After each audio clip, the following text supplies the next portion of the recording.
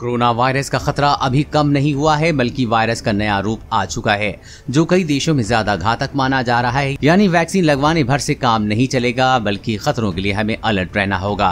क्योंकि mobile phone दिन भर हमारे हाथों में रहता है, इसलिए उससे भी पता लग सकता है कि क्या हम कोरोना संक्रमित हैं। इसके लिए हेल्थ केयर वर्कर को हमारी नाक या मुँह में स्वैब डालकर जाँच करने की ज़रूरत नहीं।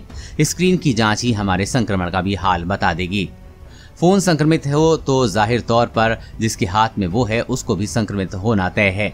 ऐसे में नाक, मुँह में स्वैब डालने की बजाय सीधे फ़ोन की स्क्रीन जाँच की जा रही है।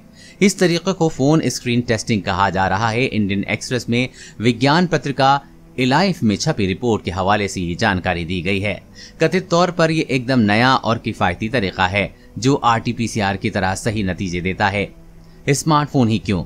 स्मार्टफ़ोन निजी चीज़ है जो हमेशा मरीज़ के मुँह के पास होता है। इसमें स्क्रीन पर वायरस जमा होते जाते हैं। वैज्ञानिकों ने इसी बात को ध्यान में रखकर स्टडी की है।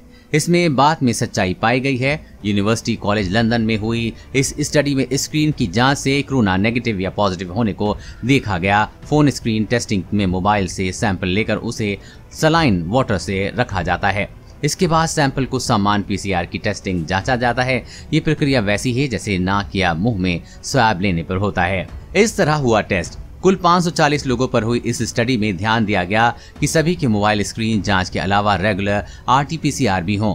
इससे ये तय हो सकता था कि जो आरटीपीसीआर में पॉजिटिव या नेगेटिव होता है, उसकी फ़ोन स्क्रीन क्या बताती है। दोनों ही जांचें दो अलग लैब में हुई ताकि एक के रिज़ल्ट की जानकारी दूसरी लैब को न हो। फ़ोन स्क्रीन टेस्टिंग की एक्यूरेसी काफ़ी ज़्यादा है। जिन लोगों में वायरल लोड ज़्यादा था, उनकी स्क्रीन की जाँच का नतीजा लगभग 100 प्रतिशत तक सही रहा। वहीं कम वायरल लोड में ये इक्यासी दशमलव तीन प्रतिशत दिखा। इसके अलावा जो लोग नेगेटिव थे, उनके मामलों में इसका रिज़ल्ट लगभग अट्ठानबे दशमलव आठ प्रतिशत तक रही रहा है। अब वैज्ञानिक मान रहे हैं कि बड़े पैमाने पर मोबाइल स्क्रीन टेस्ट से संक्रमण का जल्द पता लगाया जा सकता है, जिससे इस पर कंट्रोल पाने में मदद मिलेगी। मोबाइल स्क्रीन टेस्टिंग के लिए एक मशीन भी तैयार हो रही है, जो इसी रिसर्च पर काम करेगी। कोरोना वायरस और कोरोना वैक्सीन से जुड़ी हर अपडेट पाने के लिए चैनल को सब्सक्राइब करें।